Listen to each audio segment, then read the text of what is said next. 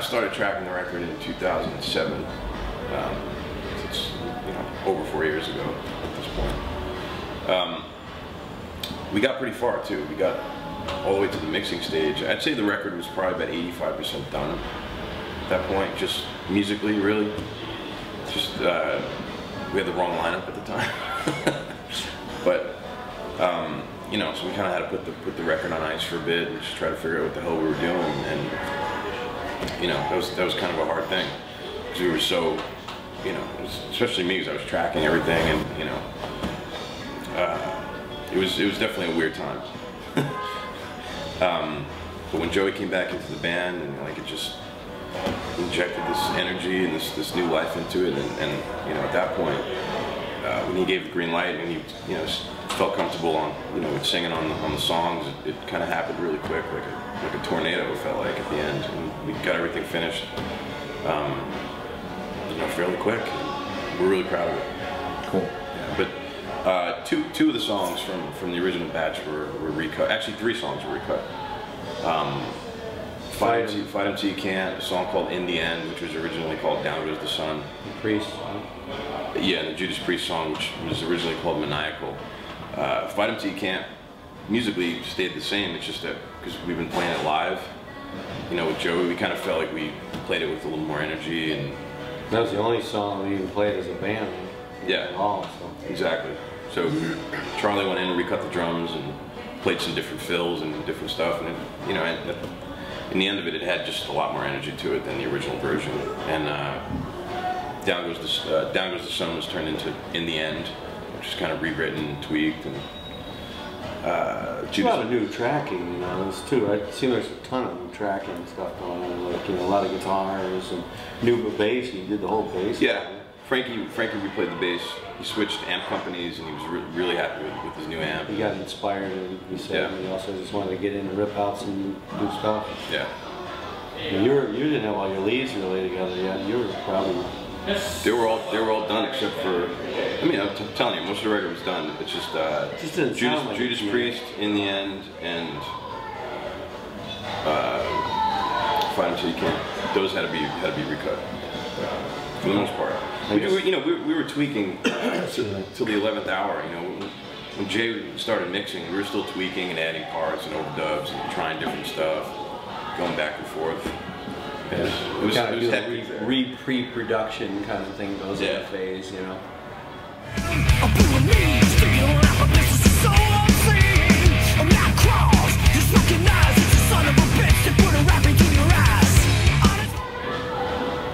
Well, you know, for me, I went up and down so much, I, I don't even know what that feeling is, you know, because I, I kind of disregard a lot of it because I never have any, any say in the way.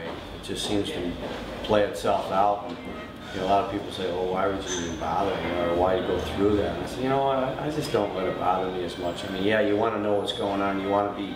I'd rather be set in one spot. You know, I don't need to have to be back and forth. I think everybody gets so confused you know, just drag. yeah, I mean, for me, it, it feels great. I I, you know, like anything else in life, I, I, feel like things are things always happen for a reason, and I feel like this band needed to go through all this crazy shit to get to where we're at now, and, and the vibe is really good, and we're really psyched on this new record, and everything feels good. I mean, when we're playing on stage, it's it's a blast. So, yeah.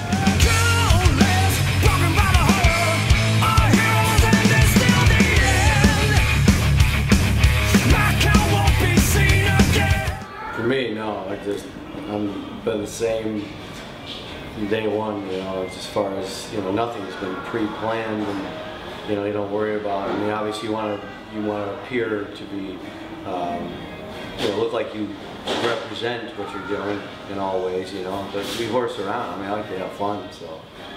You know, that's that's a lot of that stuff comes around. Yeah, maybe some clothing became a little bit flash, but even then, you know, who, who's to say what's not right for someone to wear some things and stuff. You cool. how um, Robbie feels about that, you know, I mean, you, you really haven't been in. I wasn't there with you. were in more in the serious mode, you know. yeah, I mean, I, I, came into the band when, when like Joe shorts said, you know. Yeah, when things started getting a little more serious with Anthrax. That's when I when I came into the band, and uh, yeah, I mean, I, I just think you know one of the main things about us, you know, we really. Joey touched on it a second ago, but we really have fun out there playing. It's it's real. It's not put on. It's not you know fake. We're not going through the motions. Every show we give it you know two thousand percent. It's like you know And we were serious too. I mean, there's the, Yeah. it's over. Sometimes it be, becomes very serious. Yeah. To the point where like we're like, look we'll this, Look at it. You But a lot of a lot of bands, you know, I'm not going to name any names, but there, there are definitely quite a few bands out there that take themselves too seriously, to the point where you, you watch it and it's kind of like just has a stale vibe to it. You know what I mean? Um, you know, I, for me, it's, you know, I hate I hate seeing that stuff. So So there's a certain competition that goes with that kind of thing too, in which you know I really never got caught in it myself. You just do your thing and it'll play itself out. yeah, exactly.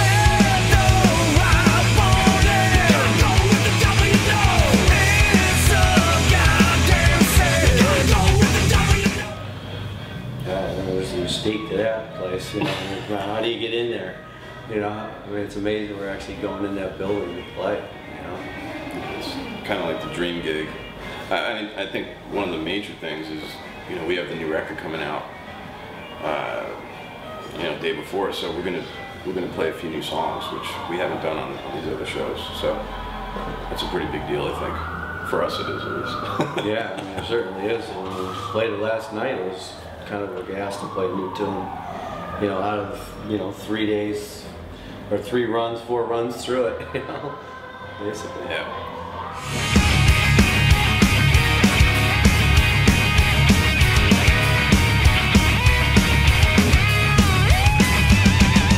Yeah, not every show. Well, not every show, but we they Yeah. they started doing it every night. Yeah, you know, the, the thing is with that, it's like, you know, I think the Metallica guys would you know, when, at these big four shows, they they want everyone to come out at the end because it's just, it's, it's awesome. It's just a great vibe and it's a lot of fun. But, um, you know, especially in Europe, sometimes between the four bands, like the travel arrangements and stuff, like that, that's that's the Metallica encore. So it's it's way late, at, you know, in the night.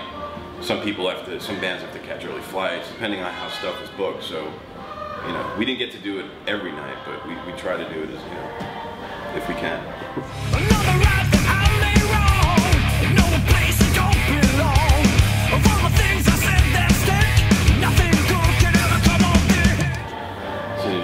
Depends interesting, how much they do but you know. Obviously, yeah, that's an interesting question. don't need to cover every place with that kind of show, right? I mean, you don't need to do like you know, two months worth of it, three months worth of that thing. But I will say it does. There, there does seem to be a, a demand for it. I mean, yeah, just fans are just going nuts over it. You know, it's great. It's great. be a shame not to be able to do more of some of it. You know, whether it's you know a good handful more.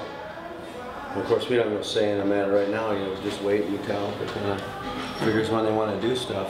And of course, we're always seem to be ready for it.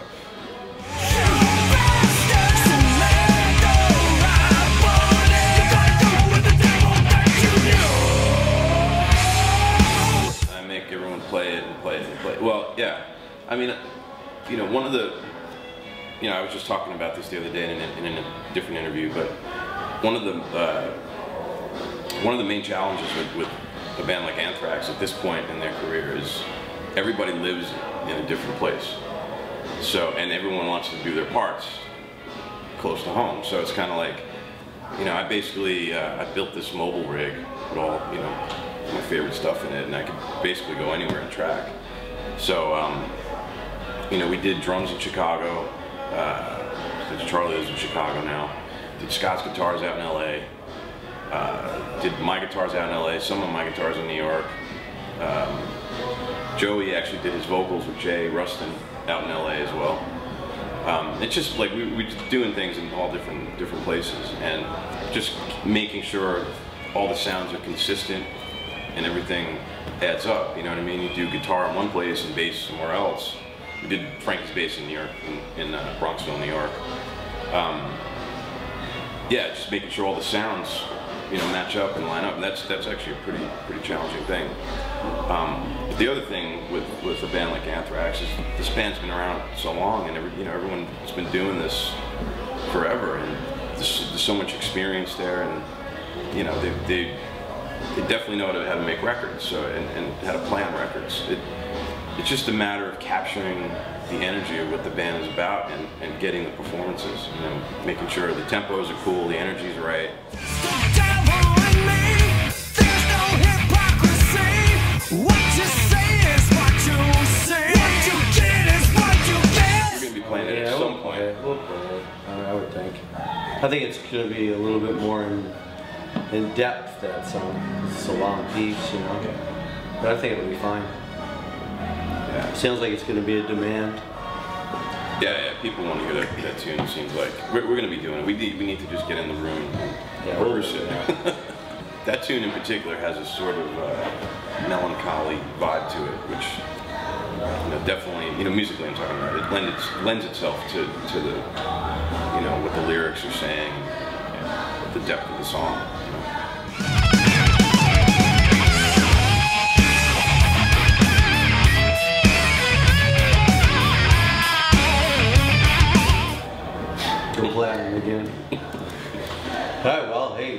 I personally, for me, I mean, obviously you're gonna you're gonna take on touring this record. What you're gonna, what you have to do, you know, kind of have to kind of make it move, keep it rolling, and put the band back up on a on the stand. You know, it would be nice to have. I, actually, there was another song that we almost tried to get one more song down. I heard, which you know maybe that will lean us into going in a little sooner. and Maybe bring bring some more music if, if, it's, possible instead of waiting like this time, even though it wasn't deliberate. But you know, hopefully we'll be able to move like the- before. We used to kind of work in, get one in within a year's time. You know, instead of, unless somebody doesn't have any, you know, if nobody has ideas and everybody's like, ah, I'm not really up for it right now, I don't think so. Maybe we won't. Sure, we're gonna tour, tour like crazy if we can. Yeah, I mean, right, right now is a real exciting time for, for Anthrax. You know, the, the, the Big Four thing, I have to say, really, you know, gave us all a kick in the ass to, to you know, get our get our shit together. You know, especially for this album and, and just get it, getting everything everything sorted out and getting getting back on track. You know, Timing wise, yeah, I mean, God, I mean, everything's just falling into place Yeah. in that way. Absolutely, and I mean, there, like I said earlier, there's weird stuff that we went through. You know, dating back from when, you know when we started recording the album. But again, everything happens for a reason, and it's, it's an amazing time right now for this band. We can't, just can't wait to get out there, start playing these new songs for the fans. You know, excited about it.